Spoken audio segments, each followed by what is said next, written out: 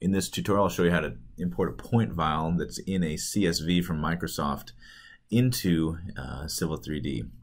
We're going to be working in here in the uh, Insert tab. Notice it's right next to the Insert. We have a whole, just like Microsoft products, we have a ribbon in here with all sorts of options. We're going to go to Insert and Points from File. This will put our point file in. Notice they come up with the selected files. You can bring in multiple if you like. Uh, all we're going to do is go hit plus and bring in our updated file.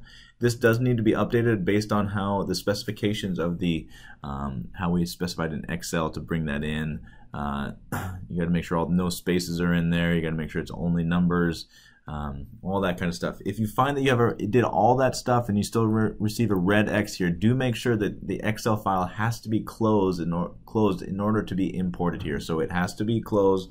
Just close Microsoft Excel down all the way and it should be ready to go. Now you'll notice that the next window shows us how it's going to be specified per column and there's something that says ENZ, ENZ at the top. This is comma delimited. This is easting, northing, and uh, elevation or Z.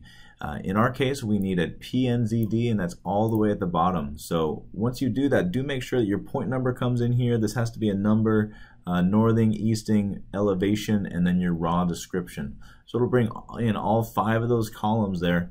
Uh, everything else we'll just leave as is. You, If you had all ground shot data or something like that, you could say add to point group and create it there. Um, other things listed here, but we're just going to hit OK and that's going to bring our data in.